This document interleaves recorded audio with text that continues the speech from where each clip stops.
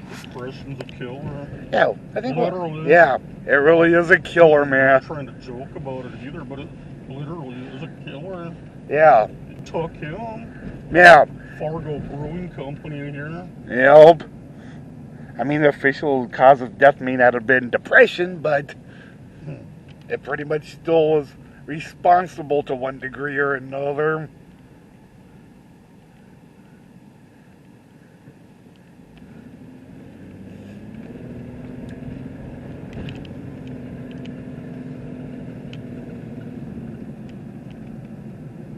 Let's see, trying to see if there's anything of interest in this area. Remember when I had my other YouTube channel, Silverado 708? Yeah, I did some a video down here. The one reason I'm bringing it up is uh, St. Mary's Catholic Church is up here. oh yeah, And on one of my videos, I actually have St. Mary's a part of the whole ordeal. uh huh, I didn't go into the building or nothing but the exterior, but it's out in the video. yeah. And then I went, I was riding my trike down. Huh, Yeah. messes down there. Yeah, I wonder what happened there. And who knows, probably somebody with a heart attack or who knows what. Yeah, But I went and did a video of uh, the Block 9 project, all kinds of stuff, riding my bike down Broadway. yep. I've noticed lately if you go to on uh, FM dispatch logs, if you Google FM dispatch logs, there's been a lot of reports of people being suicidal in the Fargo Moorhead area. Oh, no doubt. I'm sure. St. Mary's is to the right. The steeple that I was pointing out, that's to the Lutheran church. Yeah. Just so nobody gets confused. I was Separate thinking that was St. Mary's, and that's the uh, First Lutheran. First Lutheran. St. Mary's is over here to the right. Yeah, as you guys that's can. the Catholic church. Yep. And as you can all tell, they're old churches by the way they're built. St. Mary's, I think, was built in 1896, Yeah, and um, 1893, I was trying to remember when the Lutheran one was built. or right around the same time. Yeah, something like. Late 1800s. Yeah. um, Liberian restaurant. The Bismarck. I still want to get into that Liberian restaurant, Yeah. See what kind of goodies they got going on. True. I think you've always been the kind that likes to try out different stuff. I'm not going to discriminate. I like all kinds of food. Ah, the Empire. One of Donnie the. used to stay above there in them apartments, Yeah. drink himself to death too. Yeah, destroyed his body so hard it's not even cool. Pickled his liver. He could have used his blood to sterilize a needle. Yeah, no kidding. Ain't no lie. Yeah. Now, spicy pie, they're good. And I said, ain't no lie. I know that. Fargo Theater. Yeah.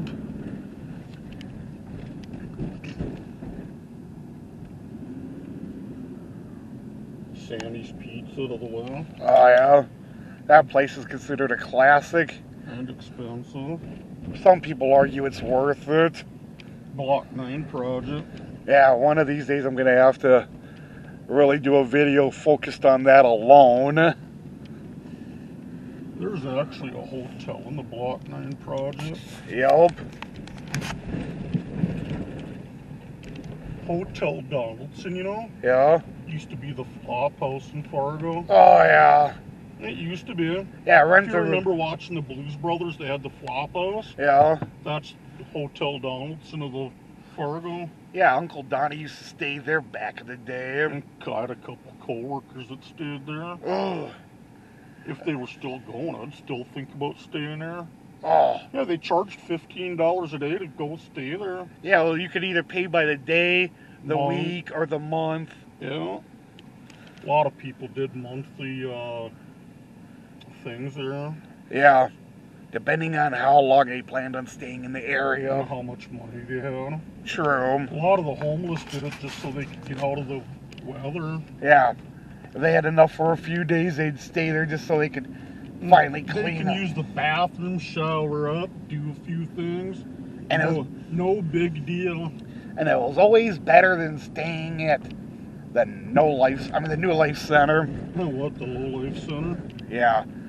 I think people would have preferred the flop house over the homeless shelter. They did. Yeah, At least at the, ho- the flop house, you could sneak a bottle in and drink it. and nobody gave a crap because they weren't exactly. Um, they were. Let's say it was a privately for-profit type place. Oh, you didn't have to get up at 5:45 in the morning. And go to bed at 9 at night. Yeah. Or do work chores. And how I know that is listen to people bitch about oh you gotta control your snoring. Yeah. Fights for no reason between random people. You walk in with food and you're like, hey, what'd you bring me? Not kicking the ass. Island Park Pool up here to the right. Yeah, I think they're planning on some major. YW or what? YMCA is it over here to the left? Yeah, YMCA. I keep calling it the YWCA. Yeah. Yeah. They're supposed to do a major renovation or redo of this whole island park. I didn't know that. Yeah, I don't know when, when or what they're gonna do, but I know it's gonna be a major redoing of it. Like I say, I don't I don't watch much of the news. Yeah, only if it's something that I find interesting. It's like, oh, dude, ch- check out the news quick. I generally don't give a crap about watching the news. Too much depression, Yeah, too much freaking nastiness on there. true. Oh, yeah, and that building to the left, I think they used to do Santa's Village over They there. still do. Oh, cool.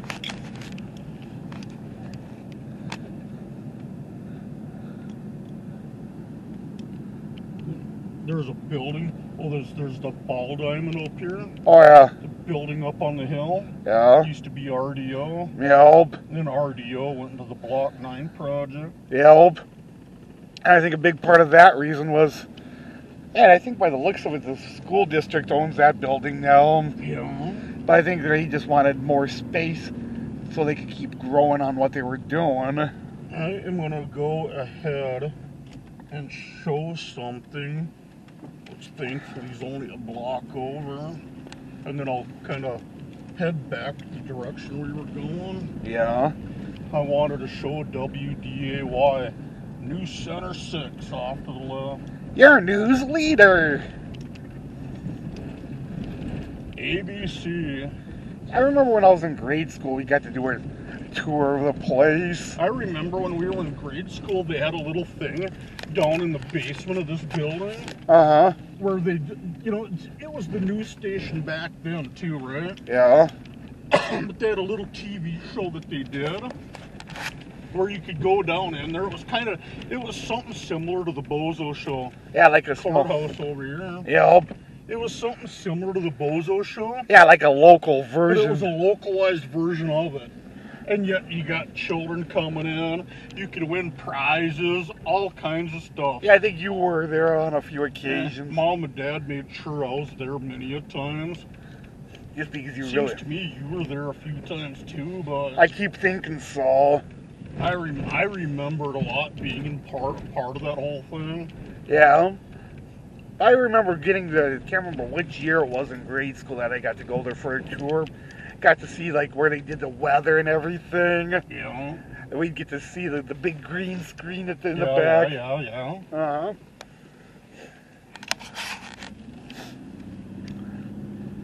And surprisingly or not, the guy that was the weatherman back then is still doing it after all these decades. What?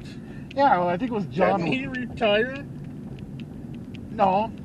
I think, yeah, because I seem to remember John Wheeler. I don't know if he was the head guy for the weather, but I know he was one of the weathermen back Well, I know he was the weatherman then. Yeah, I but I thought it was. I thought you were talking Jack Sand. No, no, was, yeah, that guy. I know he was a part of the weather group back then. In this case, it was uh, Wheeler that was doing, basically showing us everything. I didn't know that. Yep. I thought you were talking Jack Sand. Nope.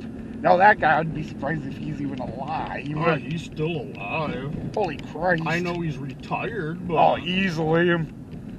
still. Yeah.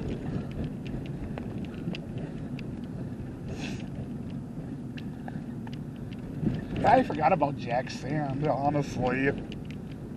And he gets into selling novelty items. Yeah, I believe that.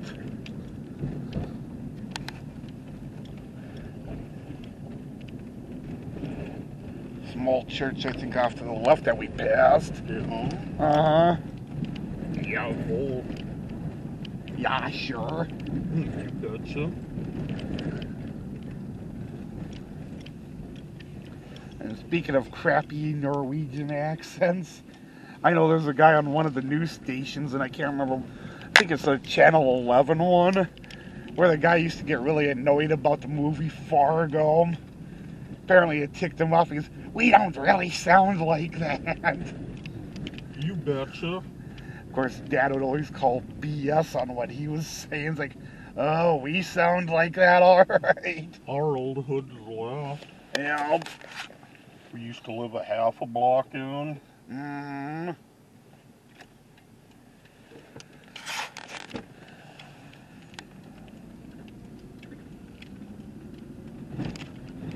I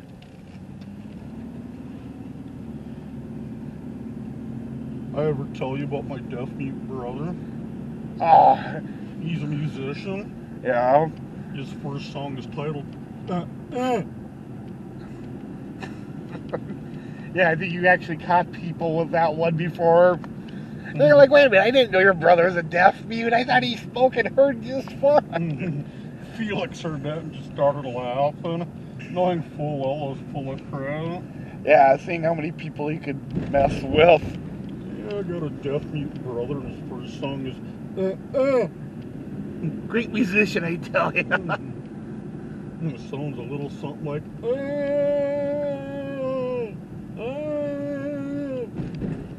uh. yeah, that's probably gonna catch us a lot of crap on YouTube. I'll live with it. Yeah, I'm over it. Doesn't matter, I'm over it. oh. Want to go into Moorhead? Why not? It doesn't matter what you think. What? Shut up. Oh yeah, Boulger Funeral Home coming up to the left. My dad was there. Yeah, they actually took care of his When services. dad died, Boulger took care of dad. Did a great job, I thought. I thought they did good. Oh, no kidding. They're one of the best in town. Yeah, I think they've always had a good reputation from what I remember. That and the other one you want to go to if in your if you're in the area Uh-huh. is Wright Funeral Home. Yeah, Yep. Hanson That Runsvold. is W R I G H T. Yep. Hanson's another good one. Yep. Hanson Runsvold is notorious for being good. Those are the three major. Yeah, they're the three big ones. When you talk funeral homes, Yeah. those are the three main ones you want to go through. Yep. Mostly because they've got the best reputations. You don't want to go through me on burial. Mexican Village. Cramped seating quarters, I think. It's one place if you're a big man, don't go there. Yeah. Seating's too tight. Yeah, it's not exactly good for those of us that are uh, horizontally expansive. Vertically challenged. Yeah.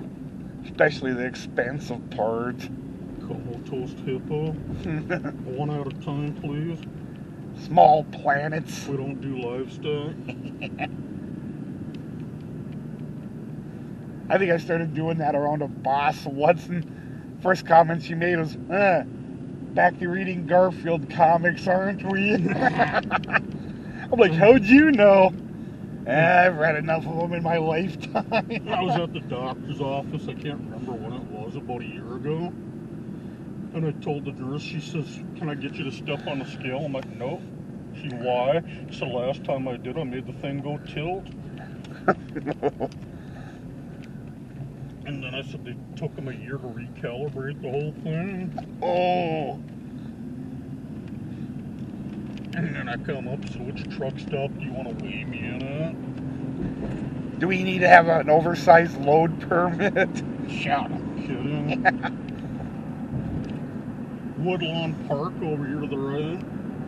It's down on the lower level. Gets flooded almost every year.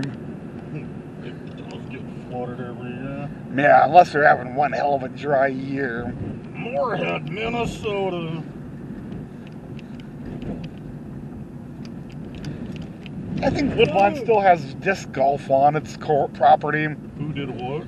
Uh, disc golf on Woodlawn. Yeah. hmm Oak Grove is the good part.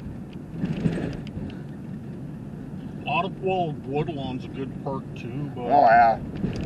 But I think Woodlawn and Oak Grove are the, supposed to be more of the expert ones. Mhm. If you want uh, entry level, go to Rendezvous Park. Yeah, they're good for those of us that are less experienced.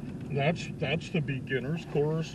Yeah. Literally, that's a beginner's course. Yep. 8th Street South in Moorhead. Yeah. Would it bother you if I skipped getting CBD products too? I'd be fine with whatever you decide. I'm just not in the mood to go pick any up right now. Oh, that's fine. I'll just take some ibuprofen when I get home. Alright. I can live with that. Huh. Whatever floats your boat. I'm not in that much pain right now. Oh, good.